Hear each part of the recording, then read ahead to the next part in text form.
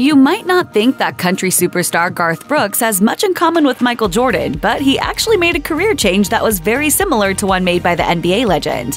What was it? Keep watching to find out. Troy Garth Brooks grew up in Oklahoma as the youngest of six children. His mother, Colleen, was actually a country singer herself, who was signed to Capitol Records back in the 1950s, and the whole family was quite musical as a result. Brooks described his childhood to Playboy in 1994, saying, Friday and Saturday nights at the house, Jerry played guitar, Jim played the harmonica, Mike played guitar, Betsy played guitar, and of course, Dad played guitar. Mom sang her butt off, Dad sang, Betsy sang, Jerry sang, Jim sang, Mike sang. Kelly and I played the wax comb. And music wasn't the only way that Brooks showed off his chops during his youth. In high school, he played baseball, and he was also the quarterback on the football team. He also even attended Oklahoma State University Stillwater on a track and field scholarship for javelin. But as he tells it, he wasn't a very good athlete or student. Nevertheless, as he revealed in a video on his Facebook in 2021, he enjoyed his time as a college athlete, as meeting people from all over the country and other parts of the world was a brand new experience for him. It was a good chance for me to kind of broaden my horizons. I'd never been out of Yukon, Oklahoma. While Brooks may have enjoyed his time as a college athlete, something arguably much more important happened to him during this period of his life. Specifically, during his senior year, he met his future wife Sandy Mahl. He graduated in 1984, and then they tied the knot two years later. When Brooks released his self titled debut album in 1989, Mahl became not only his partner in life, but also his partner in music as well, as she co wrote the song I've Got a Good Thing Going for that album. She also helped write that summer for his 1992 album The Chase. In a 1989 interview with UPI, Brooks revealed that Mahl convinced him to stay in Nashville after having already left once before when things weren't going so well. As he put it, I was ready to head back the second time when the band fell apart. She kept me out here. Being inducted into the Grand Ole Opry in Nashville is one of the highest achievements in country music, but it's not exactly a guarantee, even for the biggest stars. There are some huge names in the genre who aren't members, but Garth Brooks isn't among the snubbed. In fact, he was inducted into the Opry on October 6, 1990, just a year after releasing his debut album. For Brooks, this honor was truly the pinnacle of his young career. As reported in the book Country Music Culture by Curtis W. Ellison, Brooks said of his induction, To be recognized as a member is among the class of honors that will never be topped, no matter how long or how far my career goes. That's saying a lot, considering just how far his career has gone in the years since. While Brooks was skyrocketing to fame and growing as an artist in the early 90s, he was also becoming a father. He and Sandy Mahl had planned to wait a few more years before having a baby, but life had other plans. They welcomed their first daughter, Taylor Mayne Pearl, in 1992, and she was followed by August Anna in 1994 and Allie Colleen in 1996. It didn't take much for Brooks to realize that his career would eventually need to take a backseat to fatherhood. It was while rocking his oldest shortly after her birth that he made her a promise. As he revealed to the Tennessean in 2019, I said, Look, by the time you're six years old, that's when school starts. I'll be done. For Brooks, nothing compares to being a father. As he told People magazine in 2015, kids are the greatest joy and the greatest heartache you'll ever have. I found something that meant more, and I loved more than music itself. While it may have been the javelin that earned Garth Brooks a college scholarship, baseball is the sport that truly stuck with him. In 1998, he went so far as joining the San Diego Padres for two days of their spring training. The following year, he signed a contract with the team and was invited to spring training once again. In a local news interview from the time, he made it clear how serious he was. Hopefully, when they look at me and see the Padres uniform on my chest, I'd like for them to stand proud and say, you know, the guy's trying to be a ball player.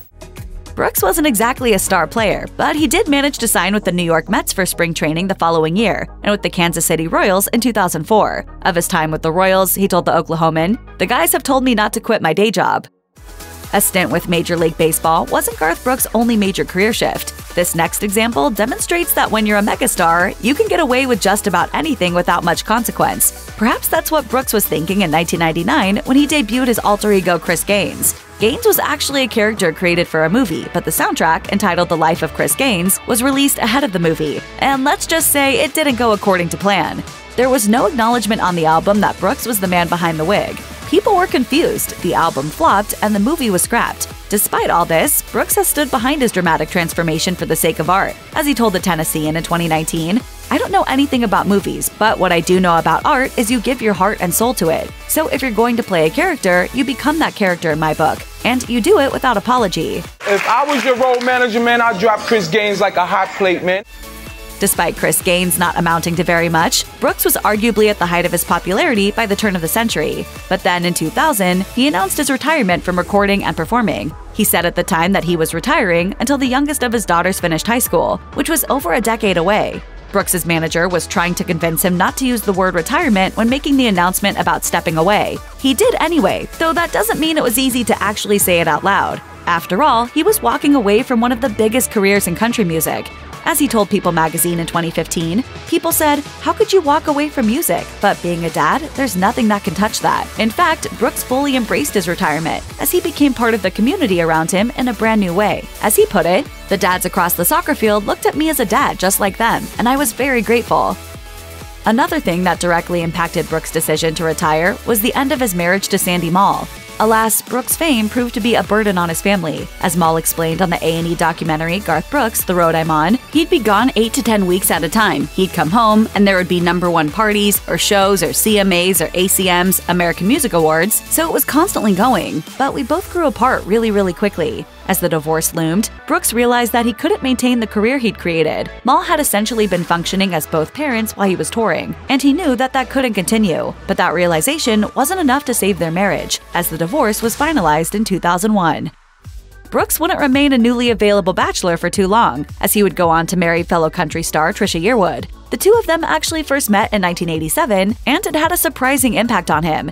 As he explained during an appearance on The Ellen DeGeneres Show, it's strange because I felt that feeling like when you just meet your wife, but I'd been married for 13 months. Brooks and Yearwood would go on to collaborate musically, including recording and touring together, but it wasn't until after his divorce from Mahl that they started dating. Brooks proposed on stage in May 2005, and they got married that December. Miss Yearwood, as Brooks and his daughters call her, has loved becoming part of the family. Talking about Brooks' daughters, Yearwood told People magazine in 2021, They were a gift that I didn't know I needed. I didn't know how much children brought into your life until I got a chance to be a part of their lives. And it was the youngest, Allie, that said, We got your back, bra strap. Although Brooks retired to focus on his family, he would still make the occasional musical appearance, including performing at President Barack Obama's inauguration in January 2009. It wasn't until later that year, though, that he was finally convinced to return to semi regular performing. In the summer of that year, Brooks performed two secret shows at the Encore Theater in Las Vegas that ultimately led to a much bigger gig.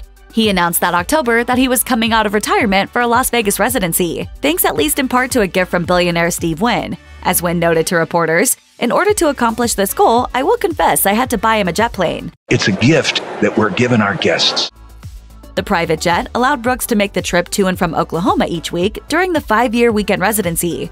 Thus, he was able to maintain his promise to his daughters to drive them to school every day until they were in college. As Brooks commuted to and from Las Vegas on the weekends during his residency, returning to see his kids off to school during the week, he apparently had a bit of downtime. In May 2011, he made a surprise appearance at the Oklahoma State University Graduate School commencement ceremony. But he wasn't there to put on a concert. No, in fact, he was one of the graduates. As it turned out, Brooks had taken advantage of the school's distance learning program to complete his master's degree in business administration. During a 2017 interview with Billboard, he noted, The most unfun part of my career is the business. Nevertheless, it's clear that he understands the importance of knowing about the business and that he's always looking to learn more. After all, how many professional musicians can you name who have a bachelor's degree in advertising and an MBA?